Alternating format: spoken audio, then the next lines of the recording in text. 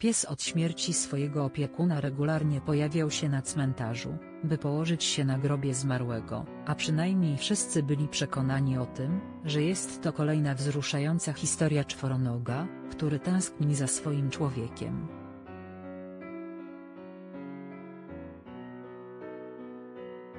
Jednak prawda okazała się zupełnie inna, a kiedy wyszła na jaw, natychmiast trzeba było zareagować.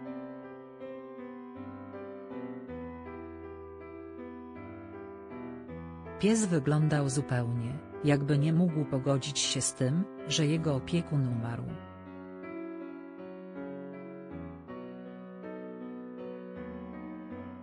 Codziennie pojawiał się na cmentarzu i kładł na tym samym miejscu.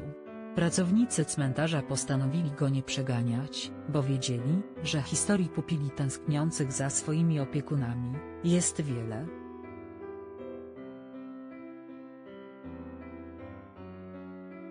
Niestety, w tym przypadku prawda była zupełnie inna.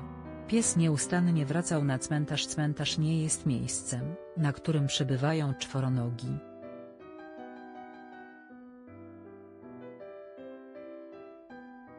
Jednak w sieci pojawiło się już tyle historii, o tym, że psy pojawiały się na grobach, by odwiedzić swoich zmarłych opiekunów, że nikt z pracowników tego miejsca, nie pomyślał nawet o tym, by zająć się psem.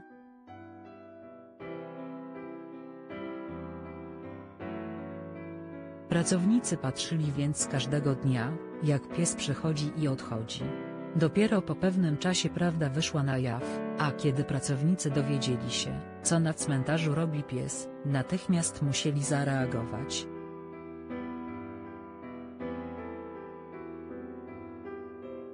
Wiedzieli, że nie mogą zostawić go bez pomocy. Pies zamieszkał na cmentarzu i nie był sam pracownicy odkryli, że pies, który regularnie pojawia się na cmentarzu, wykopał dla siebie dół, w którym spędzał wiele godzin dziennie.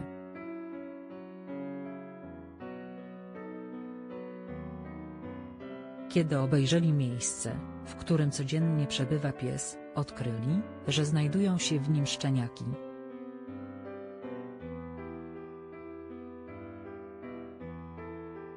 Miejsce, które wybrała Sunia, miało być spokojne bez dostępu do ludzi, gdzie nic nie groziło ani jej, ani szczeniakom.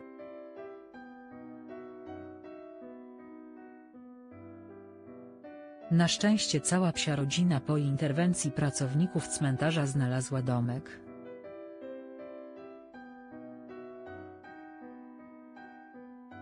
Kobieta, która usłyszała przejmującą historię Suni, która wydała na świat szczeniaki na cmentarzu, nie mogła nie pomóc.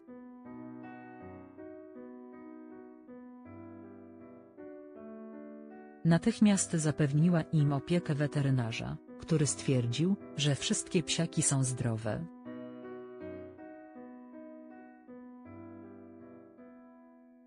Dwa. Nagły zwrot akcji, dotyczy wszystkich Polaków. Prokuratura wszczyna śledztwo w US.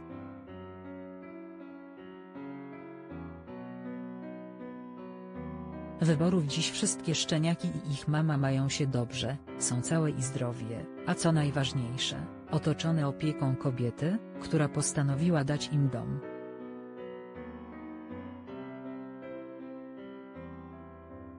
Dzięki pomocy pracowników cmentarza cała historia zakończyła się szczęśliwie. J. Lolmania